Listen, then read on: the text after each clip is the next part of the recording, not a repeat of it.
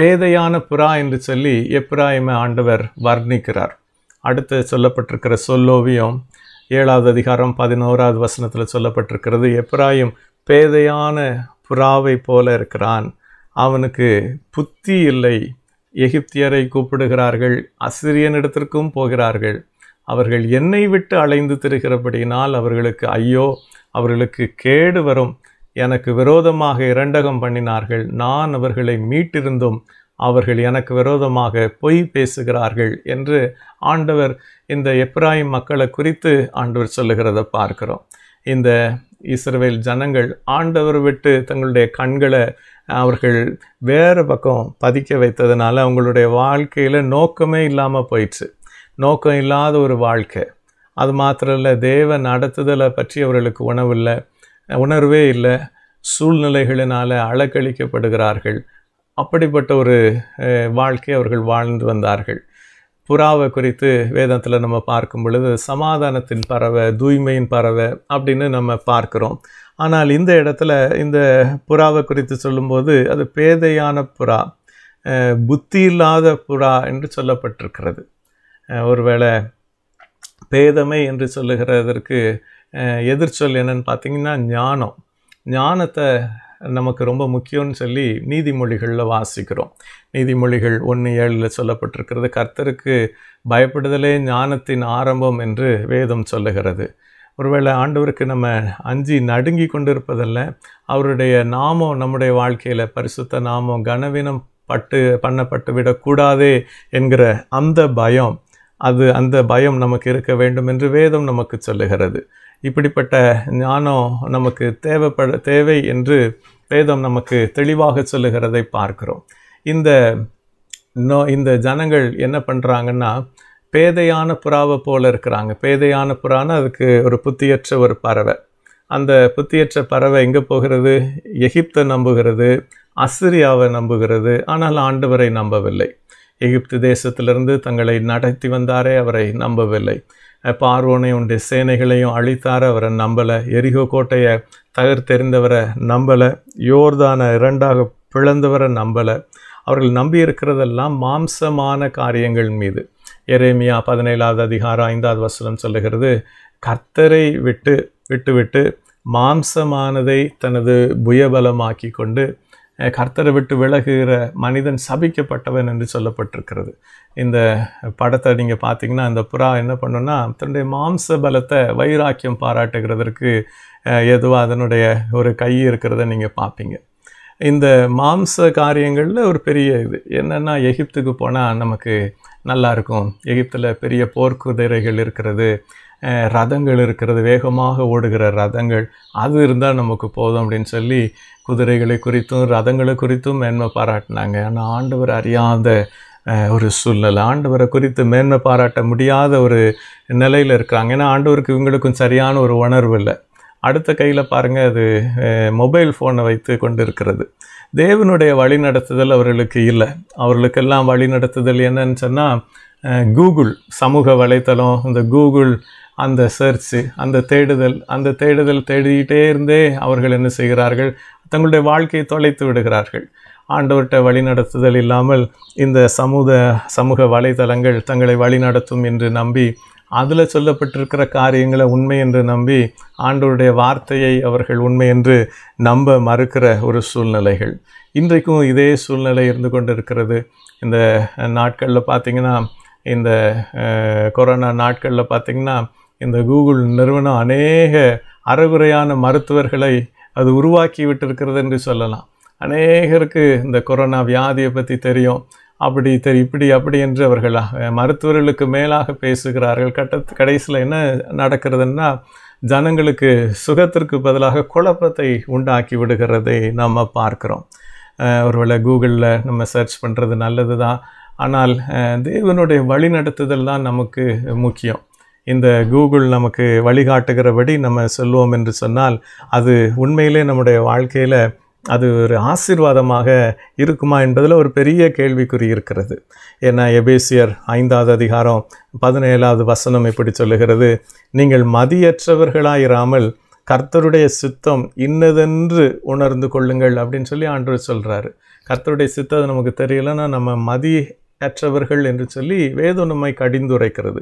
நீங்கள் மதியற்றவர்களாயிராமல் கர்த்தருடைய சித்தம் இன்னது என்று உணர்ந்து கொள்ளுங்கள்னு அங்கு சொல்லப்பட்டிருக்கிறத பார்க்கிறோம். இங்கே அறிவீனம் என்கிற இந்த வத இந்த காரியம் அல்லது மதியினம் என்னதுன்னு சொன்னால் தேவனுடைய சித்தத்தை அறியாமல் இருக்கிறது. அடுத்தது தேவனுடைய சித்தத்தை செய்யாமல் இருக்கிறது. ஒருவேளை சில நேரங்களில் மனிதர்கள் நன்றாக படித்திருக்கலாம். உலகத்தை பற்றி எல்லா அவற்றையும் அறிந்திருக்கலாம்.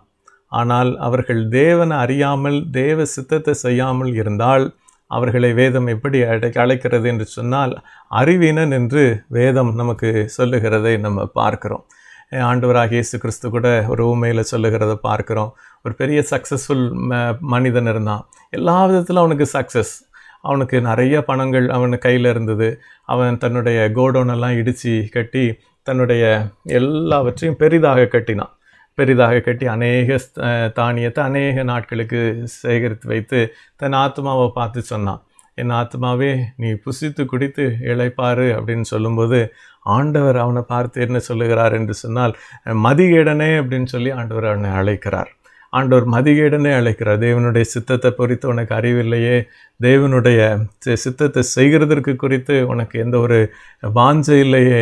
நீ ஒரு மதிகேடன் என்று சொல்லி வேதம் சொல்லுகிறத பார்க்குறோம். ஒருவேளை பெரிய பிஸ்னஸ் ஐக்கானாக இருக்கிறவங்க அதிகமான பேங்க் பேலன்ஸை வைத்திருக்கிறவங்க நிறைய காரை வைத்திருக்கிறவங்க லக்ஸரி காரில் இருக்கிறவங்க இவர்கள் எல்லாத்தையும் பார்த்து இந்த உலகம் அவர்களை பார்த்து மயங்குகிறது. ஆனால் ஆண்டவர் அவர்களை பார்க்கும்போது எப்படி பார்க்குறாரோ நமக்கு தெரியலை. ஆண்டவர் பார்க்கிற பார்வை அது வித்தியாசமாக இருக்கிறது. ஆனால் பல நேரங்களில் இப்படிப்பட்ட காரியங்கள் நம்மளை கவர்ந்து இழுத்து தேவனுடைய சித்தத்தை செய்யாதபடி செய்கிறது. நம்முடைய மதிகேட்டில் போயிட்டு அதுக்கு பிறகு புலம்பி அழுகிற சூழ்நிலை வந்து விடுகிறது. புலம்பி அழுகிற சூழ்நிலை வந்துடுது. இந்த காரியம் ஏன் வருகிறது அப்படின்னா இந்த இஸ்ரேல் ஜனங்கள் செய்த ஒரே தப்பை குறித்து ஓசியா நாலாவது அதிகாரம் ஆறாவது வசனம் சொல்லுகிறது. என்ன செய்தார்கள் என்றால் இஸ்ரவேலர் வேதத்தை புறக்கணித்தாங்க. வேதத்தை அவங்க நம்பவே இல்லை. வேதத்துக்கு முதலிடம் கொடுக்கல. அறிவில்லாமையினால் என் ஜனங்கள் சங்காரமாகிறார்கள் என்று ஆண்டவர் வருத்தப்பட்டார்.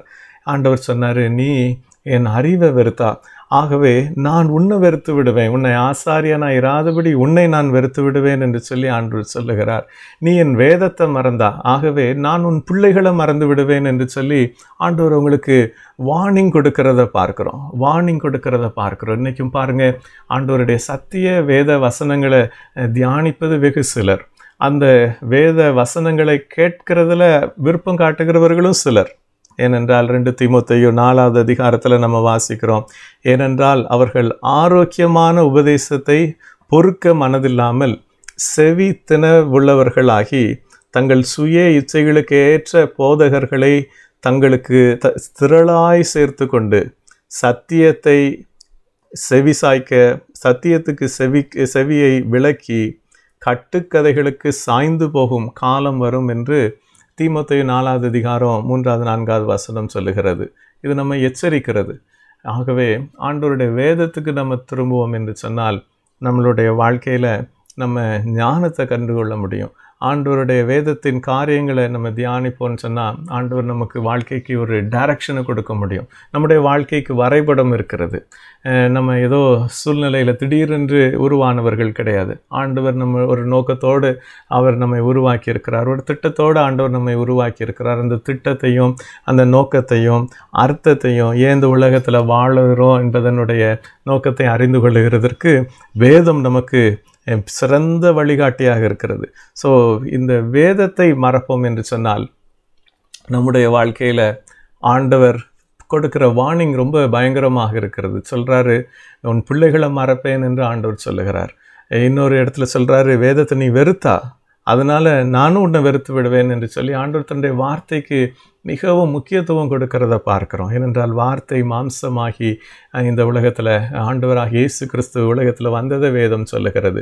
இந்த வார்த்தையை நம்ம புறக்கணிப்போம் என்று சொன்னால் இந்த கடைசி நாட்களில் உள்ள சூழ்நிலையை பார்த்திங்கன்னா ஆரோக்கியமான உபதேசத்துக்கு அவர்கள் பொறுக்க மனதில்லாமல் என்று சொல்லப்பட்டிருக்கிறது. இன்றைக்கி பார்த்திங்கன்னா கட்டுக்கதைகளுக்கு முக்கியத்துவம் கொடுக்கிறதை பார்க்கிறோம். உலக பிரகாரமான காரியங்களுக்கு கிறிஸ்தவர்கள் அதிக முக்கியத்துவம் கொடுக்கிறத பார்க்கிறோம். ஆனால் ஆவிக்குரிய காரியங்கள்னு வரும் பொழுது அவர்கள் அதை கண்டுகொள்ளவில்லை அவர்கள் அலட்சியம் செய்கிறார்கள். அதை ஒரு அலட்சிய போக்கோடு இருக்கிறத பார்க்குறோம். இதே சூழ்நிலை தான் ஓசியா நாட்களில் அறிவை வெறுத்தாங்க. இந்த அஹ், ஆண்டவருடைய வார்த்தை எங்களுக்கு சொல்லாதீங்க அது எங்களுக்கு தேவையில்லை. இப்போல்லாம் அது நமக்கு அவுடேட்டட் என்று சொல்லி ஆண்டவரை விட்டு தூரம் போனதுனால ஆண்டவரை விட்டு சோரம் போனாங்க. ஆண்டவர் ஆனால் அந்த ஜனத்தையும் பார்த்து ஆண்டவர் சொல்கிறாரு நான் அவர்களை குணமாக்குவேன் அப்படின்னு சொல்லிட்டு நம்ம அந்த வசனத்தை குறித்து பார்ப்போம் என்று சொன்னால் ஆண்டவர் சொல்கிறாரு இப்படிப்பட்ட அரைகுறையான அர்ப்பணத்தில் இருக்கிற உன்னுடைய அந்த சீர்கேட்டை நான் குணமாக்குவேன். அந்நியரோடு கலந்தது நிமித்தமாக நீ அப்படியே எல்லாருக்கும் ஊரோட ஒத்து போடணும்னு சொல்லி நீ பலவிதமான காரியங்கள் ஈடுபட்டு உன் சாட்சியை கெடுத்து கொண்டாயே அதில் அந்த வீழ்ச்சியிலிருந்து நான் உன்னை குணமாக்குவேன் என்று ஆண்டவர் நமக்கு சொல்லுகிறார். முரண்பாடாக நீ வாழ்ந்து கொண்டிருந்தாய் என்ற ஞானம் நாமம் தரிக்கப்பட்டிருந்தோம் நீ ஆண்டவருக்கு பிரியமில்லாத வாழ்க்கை வாழ்ந்துக்கிட்டு இருந்தியா அதிலிருந்து அந்த சீர்கேட்டை நான் உனக்கு குணமாக்குவேன் என்று ஆண்டவர் சொல்கிறாரு ஆண்டவர் இப்படிப்பட்டதான சீர்கேடுகளிலிருந்து நம்மை ஆண்டவர் விடுவிக்க அவர் வல்லவராக இருக்கிறாரு. அடுத்தது பார்த்தோம் பேதையான புறா நோக்கம் இல்லாத ஒரு வாழ்க்கை ஞானம் இல்லாத ஒரு வாழ்க்கை ஞானம் இல்லை அறிவு இல்லை. உலக பிரகாரமாக பொல்லாப்பு செய்கிறதற்கு அவர்களுக்கு அறிவு நிறைய இருக்குது அறிவாளிகள்.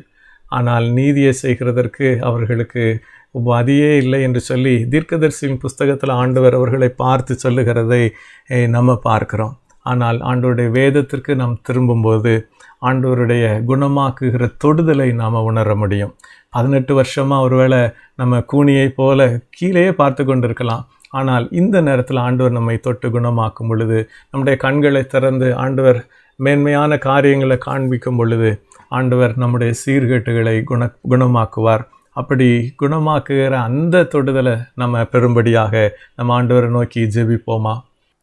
அன்பின் தகப்பனே நாங்களும் பல நேரங்களிலே சுவாமி இந்த எப்ராயிமை போல பேதையான புறாவை போல இருக்கிறோம் ஆண்டவரே மனிதர்களை நம்புகிறோம்.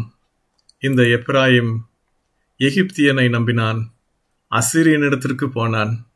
ஆனால் ஜீவனுள்ள தேவனை சார்ந்து நிற்க மனமற்றவனாய் இருந்தது போல மாம்சத்தை எங்களது புயபலமாக்கி கொண்டு கர்த்தரை விட்டு விலகுகிற இருதயத்தை எங்களிடத்திலிருந்து தேவரீர் எடுத்து போட வேண்டும் என்று ஜெபிக்கிறோம். அப்படி மனிதர்களை அசிரியர்களை நம்பினபடியினாலே இந்த எப்ராயிம் அலைந்து திரிகிறவனாய் காணப்பட்டான் என்று வேதத்தில் பார்க்கிறோம். உம்மை விட்டு நாங்கள் தூரம் போகாதபடிக்கு கத்திரங்களை பாதுகாக்க வேண்டும் என்று ஜெபிக்கிறோம். உண்மையே நாங்கள் நம்ப உண்மையே சார்ந்து கொள்ள கர்த்தரங்களுக்கு உதவி செய்ய வேண்டும் என்று நாங்கள் ஜெபிக்கிறோம் சுவாமி. உலகத்தின் காரியங்களின் மீது எங்களுக்கு இருக்கிற நம்பிக்கையை விட உன்னதமான ஆண்டவர் மீது வைத்திருக்கிற நம்பிக்கையில நாங்கள் பெருக எங்களுக்கு உதவி செய்யும்படியாக நாங்கள் ஜெபிக்கிறோம் சுவாமி. உம்முடைய சித்தத்தை அறிகிற அறிவினால் எங்களை நிரப்ப வேண்டும் என்று ஜெபிக்கிறோம். வேத வசனத்தினால் எங்களை நிரப்ப வேண்டும் என்று ஜெபிக்கிறோம். உங்களுடைய வேத வசனம் எங்கள் கால்களுக்கு தீபமும் பாதைக்கு வெளிச்சமாய் இருக்கிறதற்காக நன்றி செலுத்துகிறோம்ப்பா அந்த வெளிச்சத்தின் நாங்கள் நடக்க கர்த்தருங்களுக்கு உதவி செய்யும்படியாக ஜெபிக்கிறோம். கார் இருள் நிறைந்த இந்த உலகத்தில் சுவாமி. எங்களுக்கு அடுத்த அடி நாங்கள் எடுத்து வைக்க தேவரீர் கொடுத்திருக்கிற வேதத்தை நாங்கள் அந்நிய காரியமாக நாங்கள் எண்ணிவிடாதபடி எங்களை பாதுகாக்கும்படியாக ஜெபிக்கிறோம்.